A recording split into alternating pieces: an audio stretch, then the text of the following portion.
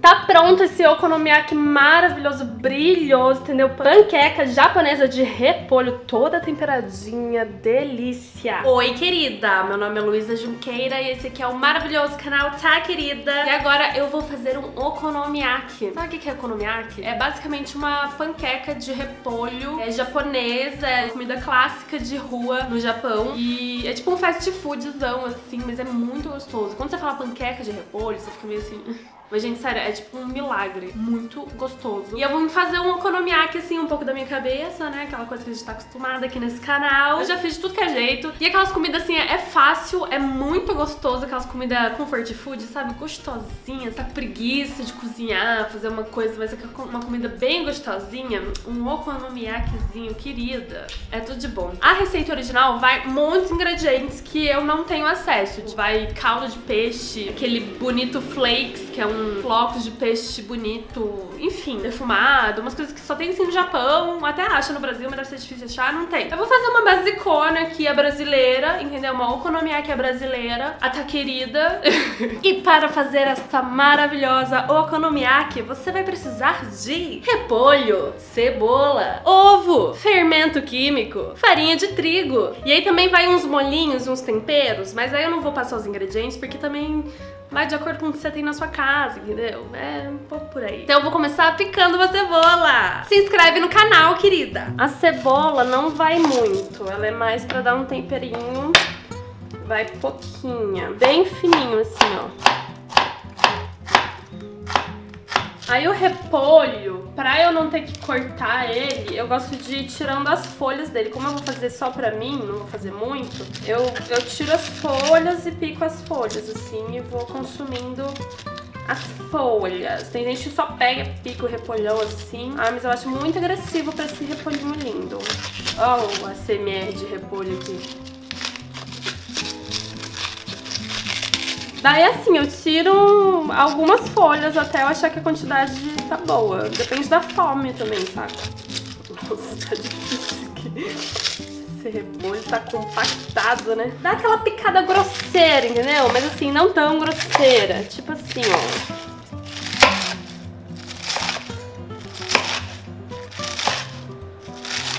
Aí vou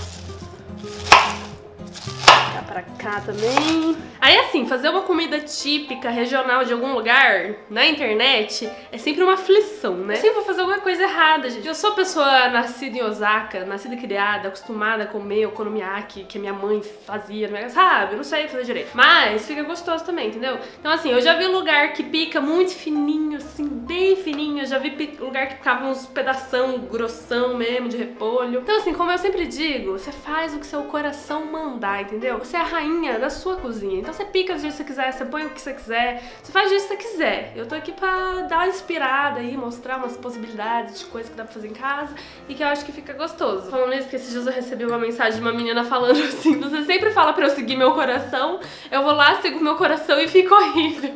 Aí eu fiquei, oh meu Deus. Então assim, uma dica que eu dou, se você não tiver muito traquejo de seguir o coração na cozinha, procura alguma receitinha bem certinha e segue ela. Eu não sou o canal que vou dar a receitinha certinha pra você seguir, porque eu mesma não sou culinarista, eu sou só cozinheirona de casa. Aí você sabe agora que existe economiac, então você procura, né, dá aquela pesquisada na internet e aí vê a receitinha do tintim por tintim. Então tá, já tenho aqui o repolho picado, um pouquinho de cebola picada, agora eu vou preparar a massa. Então pra fazer a massa, você pega assim uma tigela, eu nunca sei o nome disso aqui, gente. Então eu vou colocar 4 colheres de sopa de farinha, 5, 5 colheres, 5 colheres de sopa de farinha. Daí eu vou colocar água. A quantidade eu não sei, é que eu sei mais ou menos a textura. Então eu vou contando aqui as colheres. 4, 5...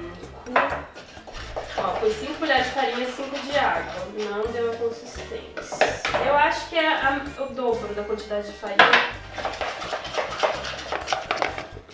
Então, ó, foram 5 colheres de farinha e 10 colheres de água.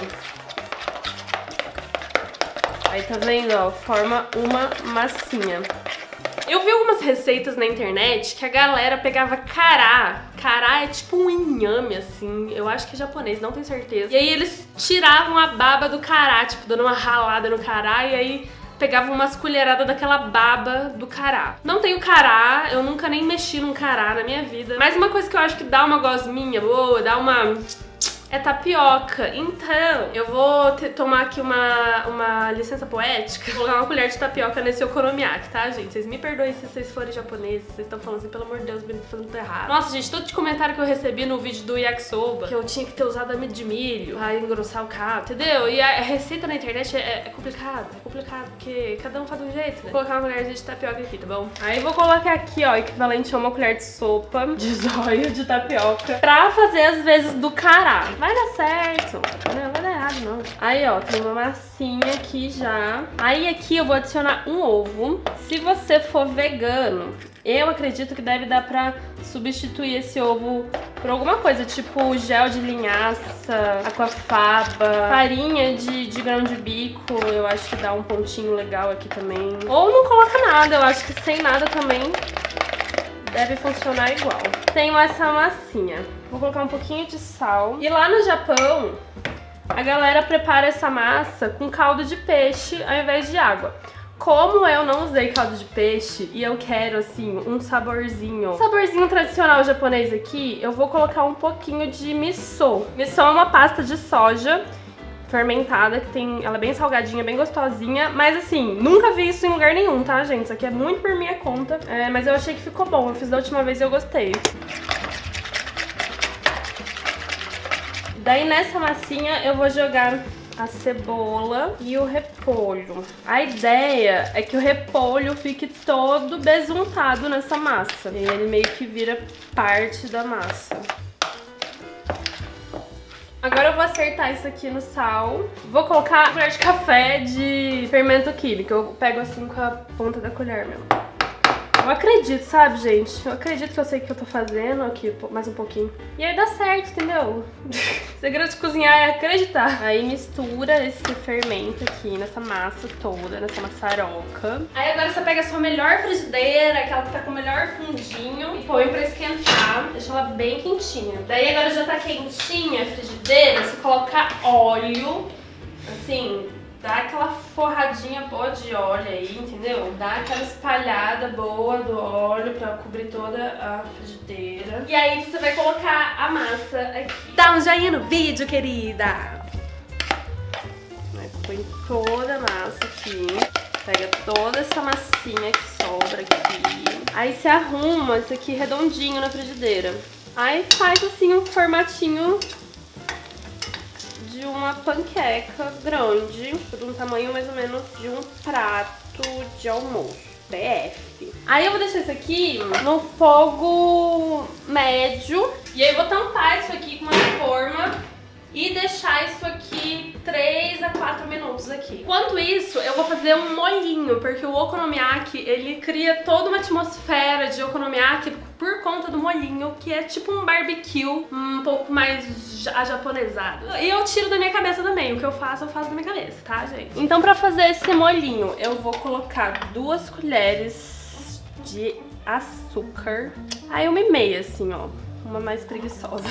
Duas colheres de shoyu, também meio preguiçosa aqui. Uma colher de molho inglês. Uma colher cheia de ketchup. E aí eu vou dar um splash aqui de óleo de gergelim. Mexe tudo isso aqui mexidinho. E agora eu vou colocar um minuto no micro-ondas. Olha como é que tá embaixo.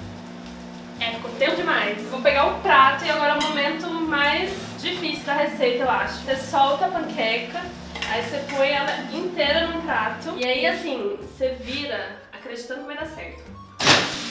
Entendeu? É assim que faz. Você virar o negócio, antes de virar, você fala assim, ai meu Deus, vai dar errado ele dá errado, tá, gente? Tudo que você for fazer na sua vida, você fala assim, ai meu Deus, vai dar errado, dá errado. Então, quando você for fazer alguma coisa, você, tipo, você vai virar panqueca. Antes de virar, você pensa assim, nossa, vai dar certo, vai cair certinho. E aí ela vira certinho, tá? Esse é o segredo de virar e cair certinho, tá? Eu gosto de acreditar nisso, pelo menos. Olha que maravilha que ficou. Ficou certinho.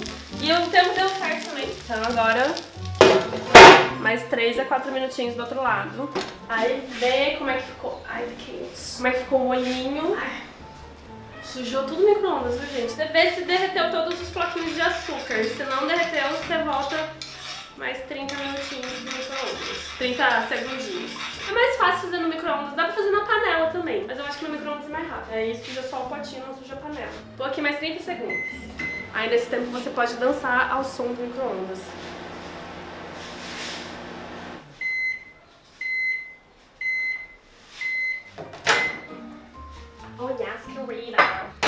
Eu subi um pouco aqui o fogo só pra dar aquela tostadinha, que eu acho que ele já cozinhou bem. E também se deixar cozinhar demais o repolho, ele fica muito molengo. Aí eu acho que agora já tá bom. Pega o prato, dá aquela soltada na, na aqui. E acredita, acredita... Lindo. Assim, ainda não tá pronto, porque o okonomiyaki, pra ser um okonomiyaki, ele é decoradinho, cheio dos temperinhos. Eu não tenho vários temperinhos, mas eu tenho, tenho a maionese, o molhinho e um pouquinho de... É aquele lado... Como é que chama aquele lado? Gergelim. Gergelim. Aí assim, temos esta maravilhosa okonomiyaki, maninho japonesinho que eu ganhei de uma japonesa pra já ficar temático. Olha como ficou o molhinho. Ele fica assim, um pouco grossinho, mas não tanto. Aí agora eu vou colocar bastante bastante molhinho aqui em cima.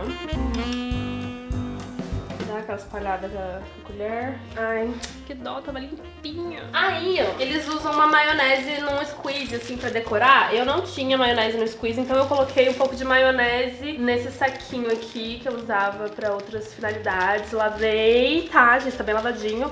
E aí cortei o biquinho pra fazer aquela aquela graça, sabe? Pra fazer bonitinho, assim. E eles comem com bastante maionese mesmo, viu, gente? Não tô inventando essa coisa da maionese, é clássico, é do, do okonomiyaki. Ai, olha como tá lindo! Vou colocar um gergelimzinho preto só pra ficar bonitinho, mas gostoso também. Ai, como fica lindo! O tradicional, eles usam também um negócio que parece um oréganozinho, assim, que tem gosto de mar. Eu não tenho isso. O gergelim já faz ficar bonitinho. Aí eu vou colocar umas bolinhas de pimenta, usando a sriracha aqui, que eu gosto. Esqueci de pôr no molinho, é bom que já fica bonitinho também. E pra ficar mais gostoso eu vou colocar umas gotinhas de óleo de gergelim. Tá pronto esse okonomiyaki maravilhoso, brilhoso, entendeu? Panqueca japonesa de repolho, toda temperadinha, delícia. Olha que maravilha que tá esse aqui. Ai, e é muito gostoso isso aqui, tipo, muito gostoso. E aí dá pra comer de lanche, dá pra comer de lanche da tarde, dá pra comer de, de janta.